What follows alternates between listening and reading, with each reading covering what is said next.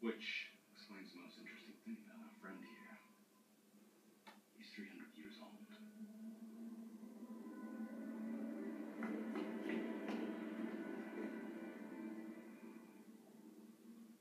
Why is there a man in that torpedo?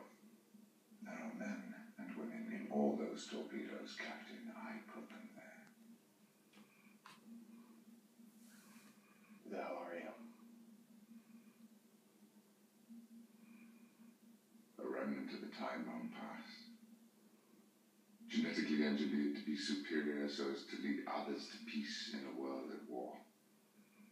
We were condemned as criminals, forced into exile. For centuries we slept, hoping when we awoke things would be different. But as a result of the destruction of Vulcan, your Starfleet began to aggressively search distant quadrants of space. My ship was found adrift. I alone was revived. I looked up John Harrison.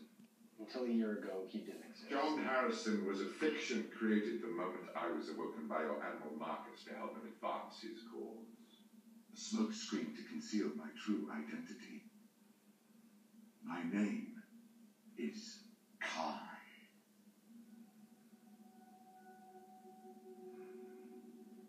Why would a Starfleet admiral ask a 300 year old frozen man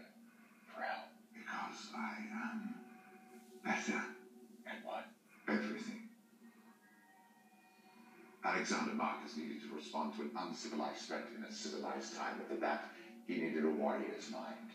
My mind. To design weapons and warships. You are suggesting the Admiral violated every regulation he vowed to uphold simply because he wanted to exploit your I intellect. wanted to exploit my savagery. Intellect alone is useless in a fight, Mr. Spock. You, you can't even break a rule. How would you be expected to break bone? Marcus used me to design weapons, to help him realize his vision of a militarized Starfleet. He sent you to use those weapons, to fire my torpedoes on an unsuspecting planet. And then he purposely crippled your ship in enemy space, leading to one inevitable outcome. The Klingons would come searching for whomever was responsible, and you would have no chance of escape.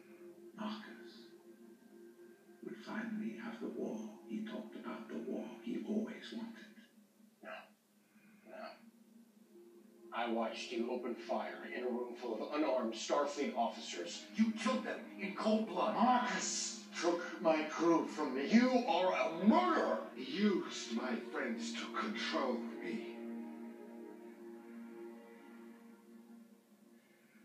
I tried to smuggle them to safety by concealing them in the very weapons I had designed. But I was discovered. I had no choice